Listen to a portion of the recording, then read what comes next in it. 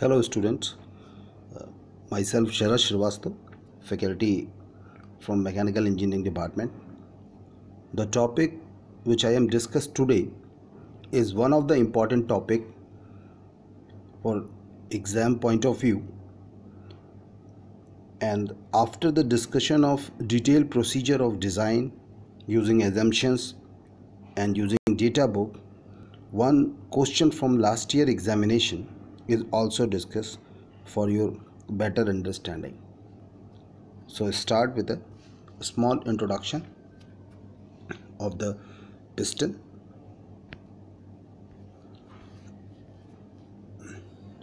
okay. So first of the what is the function of the piston uh, piston is a reciprocating reciprocating part of a IC engine that perform number of functions some of important functions are it transmit the force due to gas pressure inside the cylinder to the crankshaft to the connecting rod.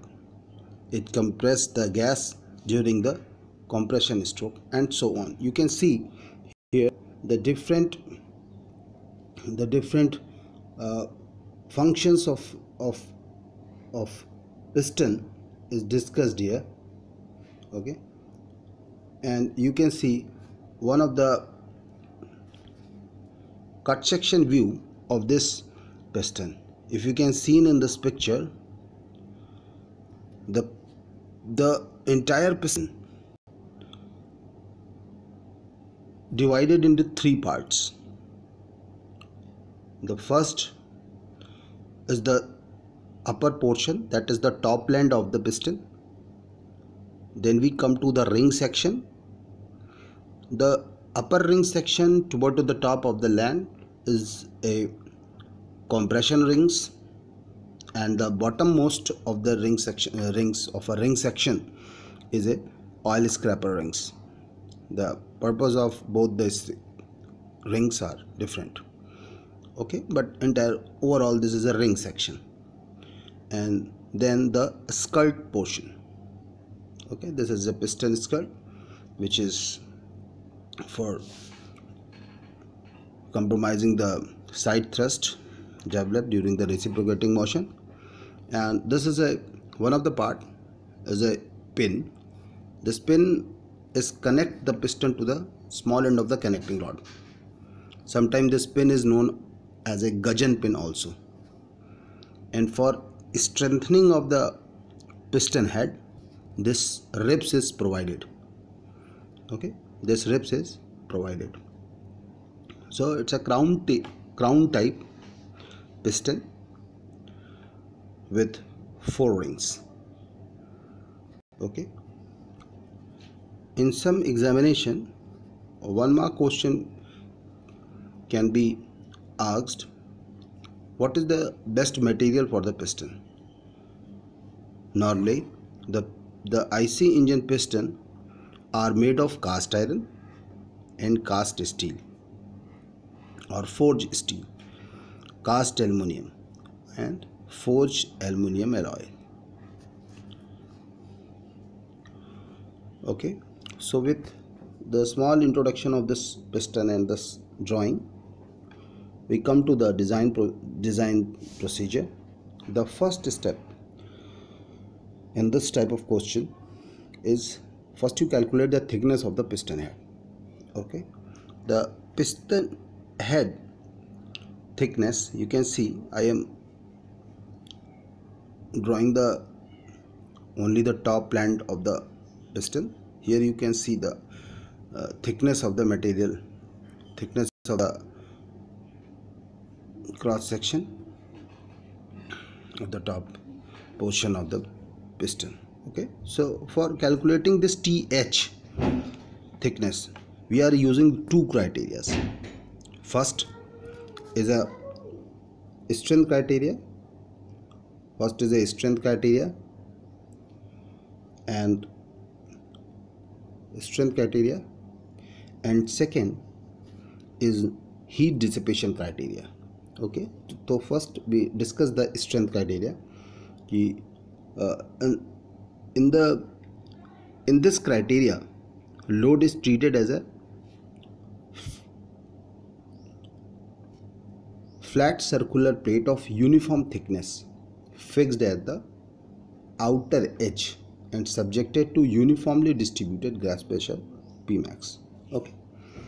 So for strengthening consideration the thickness can be calculated by this relation. Th is equal to D under root 3 into P max divided by 16 into sigma B. Sometimes this equation is also maybe uh, in the form of Th is equal to under root P 3 P max D square divided by 16 sigma B. So no problem. It's a different forms of this equation. But in this equation, Th is the thickness of the piston head and D is the cylinder bore and P max is the gas pressure or explosion pressure measured in megapascal or Newton per mm square. Come to sigma B is a permissible bending stress permissible bending stress in Newton per mm square.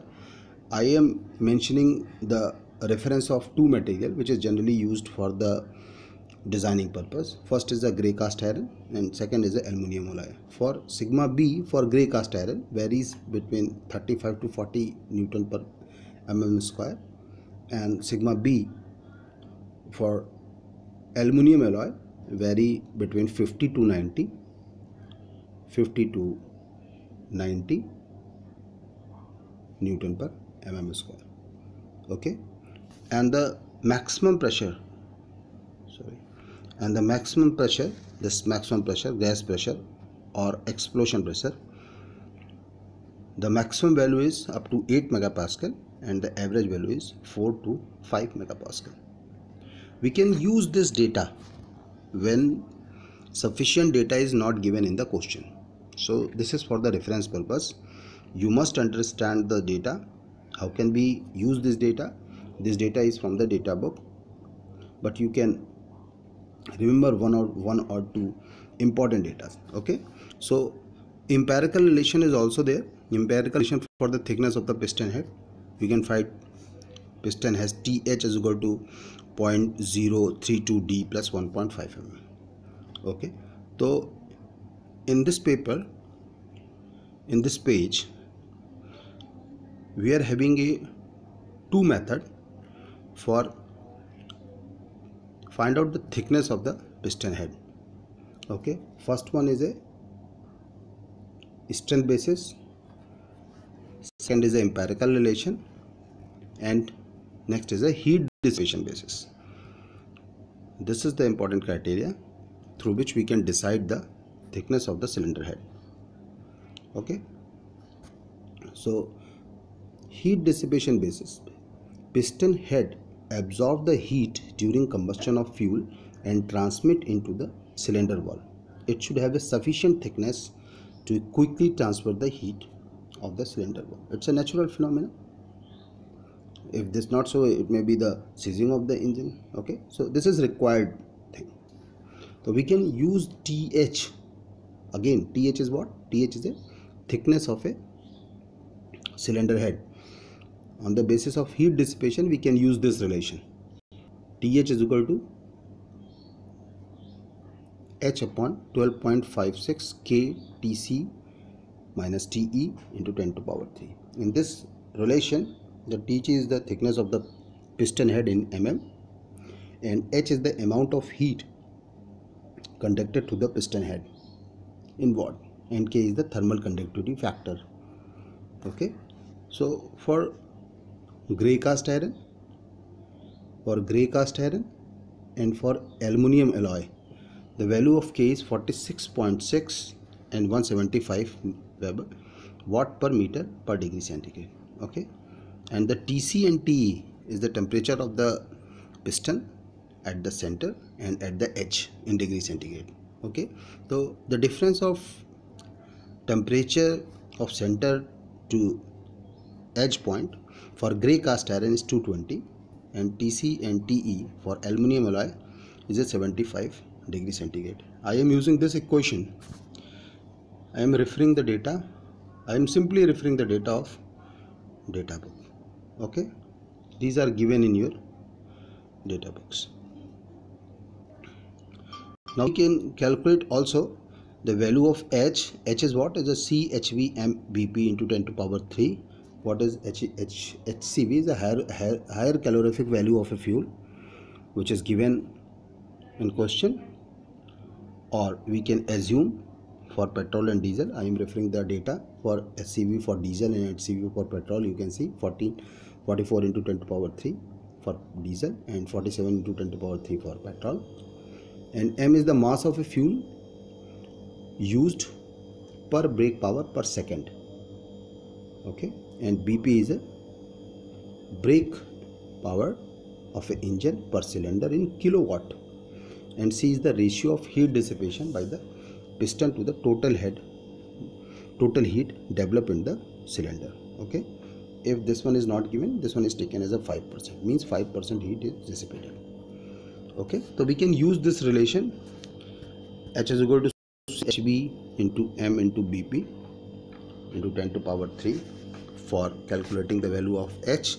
And finally we can use h value from this tc and t from there k th and we can use this this equation okay? We can use this equation. And all the term in this equation can be calculated separately okay? So we are having the three answers th th one for empirical relation th one from uh, strength basis and th one from the heat dissipation we can select the higher value. Okay? Now come to the second part of the piston. Second step you can say it's a piston ribs and cups. What is ribs? What is the purpose of the ribs? So this is a just a for information. What is ribs ribs is used for strengthening the piston head against the gas pressure. They increase the rigidity and prevent distortion of piston head. Okay.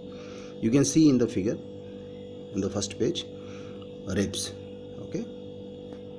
The, the the thickness of the piston head if less or equal to 6 mm actually no ribs is required if this one is greater than 6 ribs is provided. Okay. How much number of ribs is in between the 4 to 6 and thickness of the ribs we can take tr as equal to th by 3 times 2 th by 2 in mm okay. These are the guideline.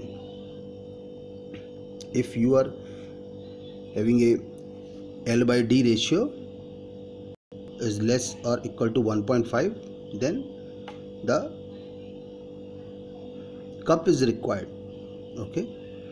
And if this one is greater than 1.5 no cup is required okay? And the radius of cup is 0.7 into d okay? So ribs is for the strengthening purpose and cup is for the additional space for combustion of fuel okay so these two values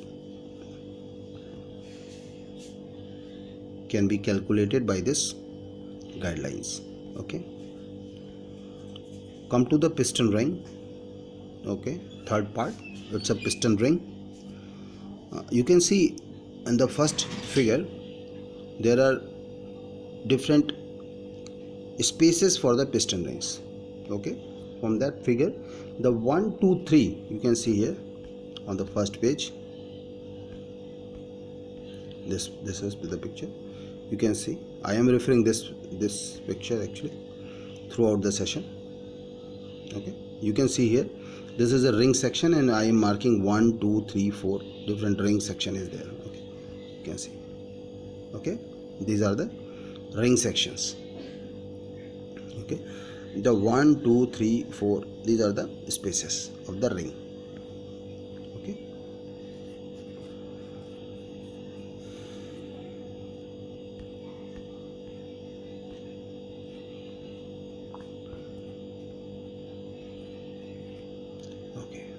these are the guidelines.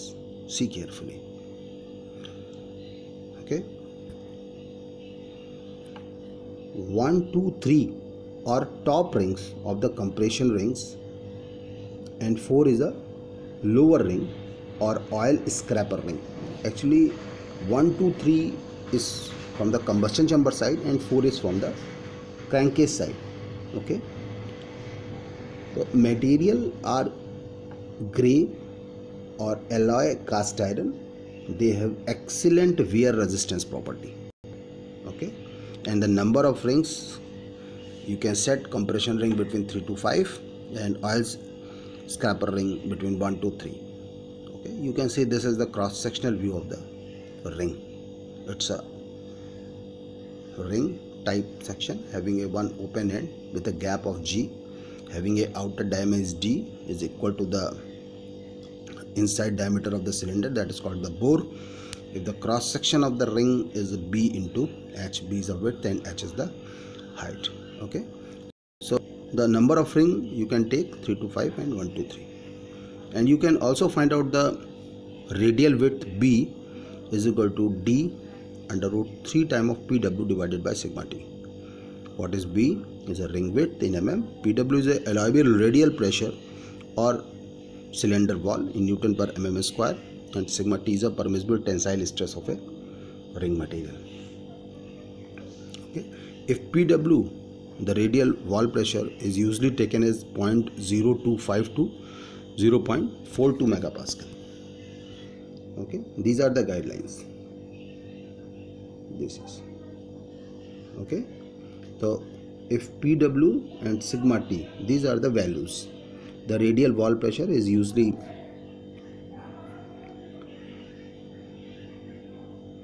the radial wall pressure okay and the sigma t.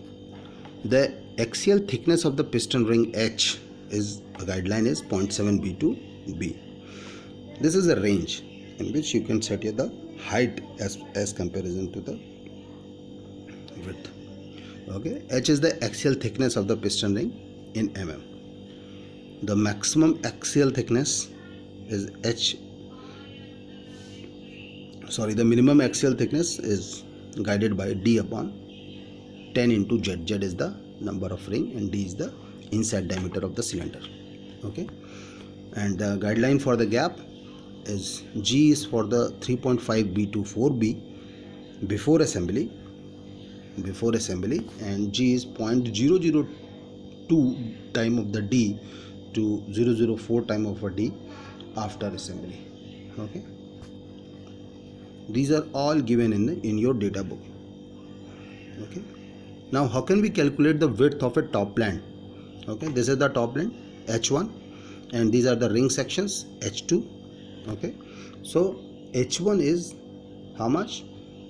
Th2 one point time of the 2h you can find out the value of th in step 1 and now you can set the top length height of the top length on the basis of the thickness of the cylinder head okay?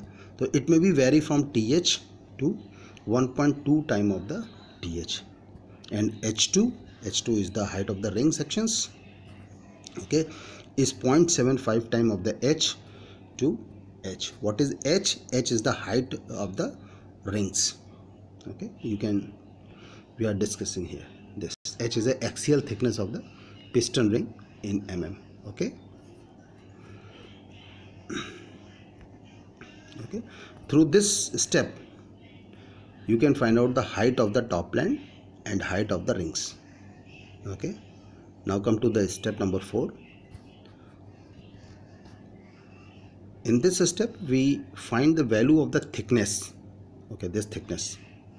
Thickness of the material cross section at the top of the piston and the bottom of the piston and also find the this height of the piston barrel. Okay? So the guideline of this is our t3 what is th t3 you can see here this is a t3 this is a t3 t3 0.03 time of the d plus b plus 4.9 and the thickness at the lower end or open end below side t4 is equal to 0.25 time t3 2.35 time of the T3 this is a sorry. Okay. Yes this is a T3 and this is a T4 okay. T4 is remember it T4 is on the open end side. This is the open end and this is the close end. Okay. Come to the next step. As a piston skirt.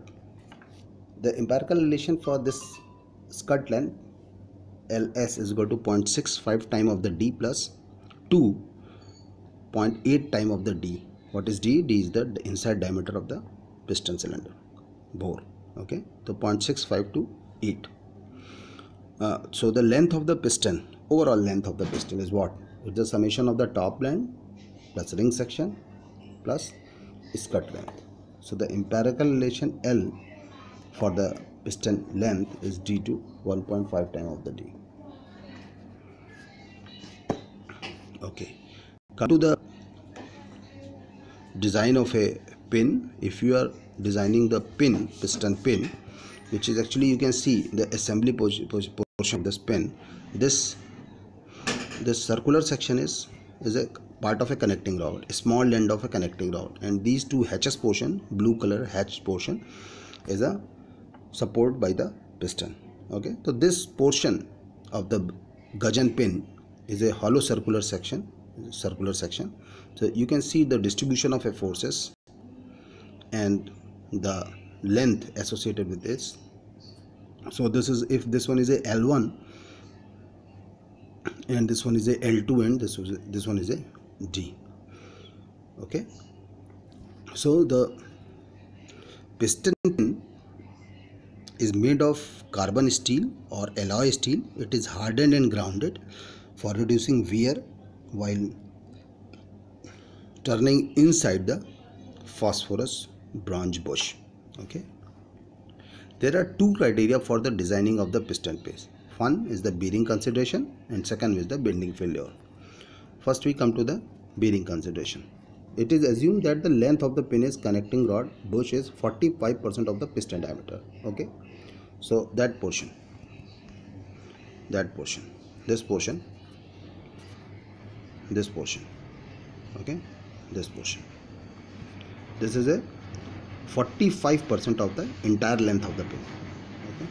So we can make a assumption and we can find out the one relation L1 is equal to 0.45 time of the D in mm where L1 is the length of a piston pin in the bush of a small end of connecting rod. Clear? So the outer diameter of the piston pin to be understand by equating force acting on the piston and the resulting force offered by the piston pin. Okay you can see here. This is the applied force and this is a p by 2 p by 2 is a reactive force. Okay yes this p is applied and p2 is a reaction of that p. Okay so pi by 4 d square into p max is the force and pb 1 into d naught l is the reaction reactive force okay? Here pb pb1 is the bearing pressure. At the bearing of a small end of connecting rod newton per mm square generally taken as 25 megapascal and d naught is the outer diameter of the pin and inner dia is 0.6 time of the d outer okay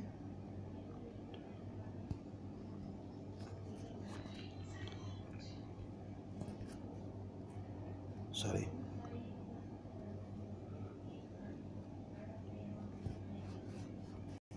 okay. Okay. And the second criteria is the bending failure. The bending failure acting on the pin at the central axis xx what is pb p by 2 is a force into l by 2 is the distance. Force multiplied by distance. We can write the simply the bending equation at the section xx okay? This is a force and this one is a distance. This one is a force and this one is a distance it's a udl okay so this this is a force and this is a distance. So putting the value of L2 is equal to D into L1 by 2 we are having the MB bending moment is PD by 8 and I and Y for the hollow circular section pi d outer power 4 minus d inner power 4 divided by 64 simply y is d outer by 2 sigma b. We can put the value all this value y m b and i. We can find out the value of sigma b okay so the allowable bending stress for the piston pin should not exceeded the following value it must be 84 newton per mm square for cast hardened carbon steel and 140 newton per mm square for alloy steel okay and come to the last step of the piston clearance. The clearance between the cylinder line and the piston is provided to take care of the thermal expansion and distortion. This one is a guideline. The clearance may be 0.30375 to 0.1875 mm depending upon the piston diameter. It's a clearance between the piston. Okay so through this these are the steps through which we can find out the dimensions of the different part of the piston. And this is a complete procedure of piston design. Okay i am repeating once again. What are the steps? You can see.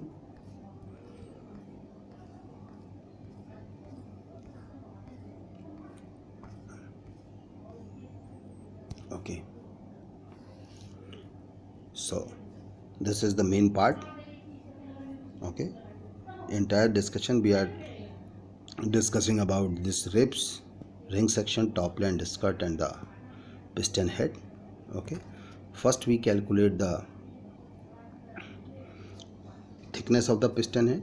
One first criteria is the strength basis. Second is the empirical relation this one. Next is the heat patient. And through that we are having the three value of the th which one is greater that should be selected for the further design. And on the basis of that th actually your question is the the 70% question is solved up to first step. If you can find out the exact value of the th all these equations are based on on that. Okay? These are the just empirical relation given in your data book. No need to read all all these step remember all these steps okay? So you can just do what's the question required okay? Okay further design may be the piston ribs and cups. On the basis of their th you can decide how much ribs is required what is the, uh, the requirement of the cup and the dimension of the cup also you can discuss. Now you can discuss the different uh, rings of the piston piston ring. You can find out the b you can find out the h okay? And on the basis of that b and h you can find out the other heads other height of the top land and the ring section and the barrel section okay? Find out the piston skirt. And through that you can find out the final length of the piston in this stage okay? Okay this is the maybe that portion is that you can find out the value of the piston pin or gudgeon pin. Okay. Okay. These are the two criteria through which we can calculate the piston pin and this is the guideline for the piston clearance. Okay. On the basis of that i am discussing one of the important question. Okay. It's a 2016-17 50 mark question. Come on the aktu examination. Okay Design a cast iron piston for a single acting four stroke engine for the following data. The bore D is given, stroke is given, maximum gas pressure P maximum 5 Newton per mm square. It's also given, indicated mean effective pressure PM is given, mechanical efficiency is given, fuel consumption is 0.15 is given, SCV of the fuel is also given and the speed of the engine is given and one of the important thing this any other data required for the design may be assumed. Okay these are the some data which is given and you can assume the missing data. Okay so first as you know the first step is calculate the thickness of the piston. We are having the some criteria. First we are allowing the strength consideration. Then we can find out the value of th on the basis of this equation. Okay sigma b. So sigma b is not given uh, but the material is given. Okay you can see in the question portion the material is cast iron piston. So we can use the sigma b for the cast iron. It varies from 35 to 40 we can use the 35 okay? The answer is 16.36 you can use 40 the answer may be different. But you can write here. I am writing in the red box. What are the what are the things which i have assumed during the solution? Okay? So the th is calculated now the thickness of the piston head by thermal consideration how can we calculate? The ip is given indicated pressure is given and the formula of indicated pressure is PMLA A and divided by 60 and you see the mean effective pressure is given in the question. The mean effective pressure okay? Mean effective pressure is given. So we can use this equation which is which I have used in the design of the cylinder cylinders so we can simply put the value of PM L here you can say L is given 125 mm stroke length in mm we can change into in, into meter 0.125 and area pi by 4 d square simply and n for 4 stroke n is n by 2 and for 2 stroke n is equal to capital N. So here is a 4 stroke engine that's why we get half the RPM it's a uh, 1000 simply solve this the value is 12.27 kilowatt. Okay. Now what is the BP the mechanical BP is what? Me mechanical efficiency into IP so you can multiply it 0.80 into 12.27 the value is 9.82 kilowatt. Okay. Now the mass of the fuel used per brake power per second. Actually this one is given in the hour. We can divide by the 3600 for changing into per second so mass is here 4.16 into 10 to power minus 15 I can use this equation H for finding out the value of H. C is given point by assuming we can assume the 5% dissipation. So C is 0.5. The C is 0.5. SCV is 4200 42,000. It's given in the question.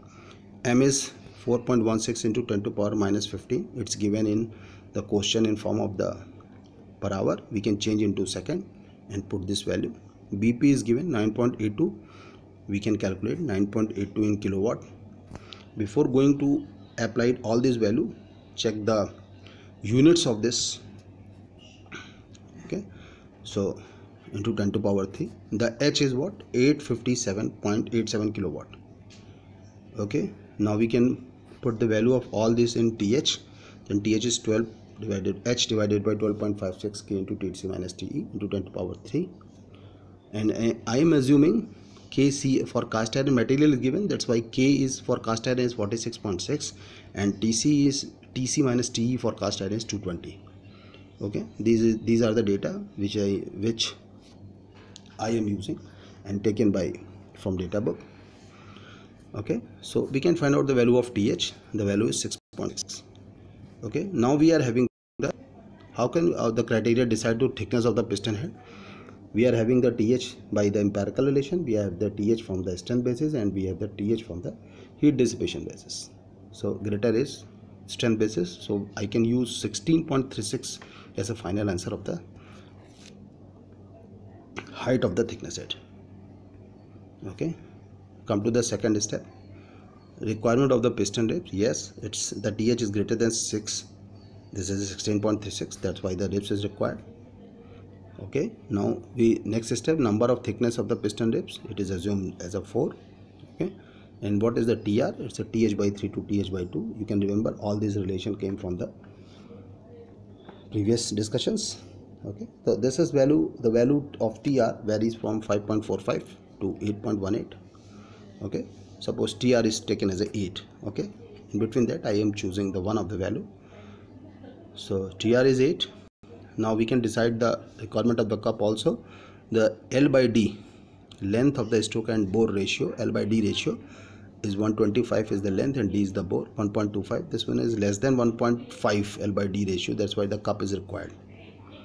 Okay. And the radius of that cup is 0.7 time of the d 70 mm cup radius is required. All these things are discussed in the design portion okay? So come to the design of a piston ring. Yes we can design the piston ring. This is the equation. B is equal to d into 3 into pw divided by sigma t.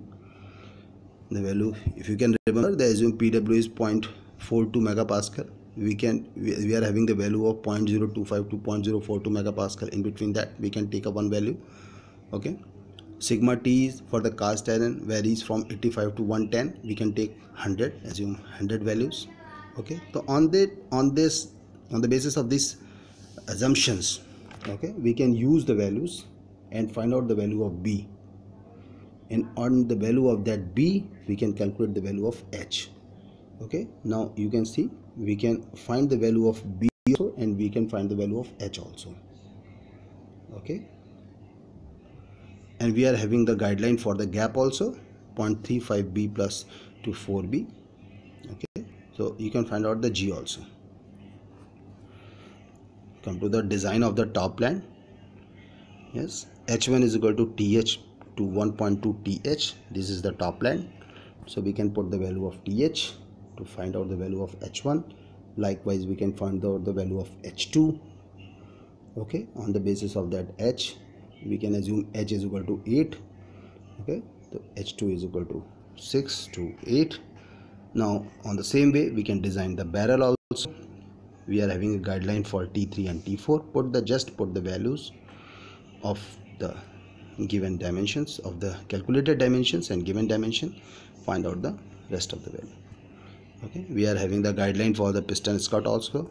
The empirical addition L is equal to 0.65 D to 0.8 D and the value is 65 to 80 now at the last step we can find out the length of the entire length of the piston.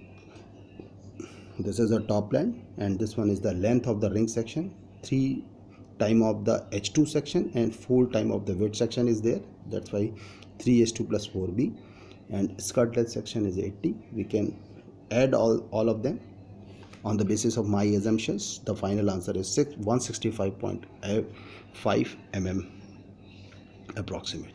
Okay? So through this way we can solve the question. Okay? It's depend upon the marks of the question. It's depend upon the what are the things they should require.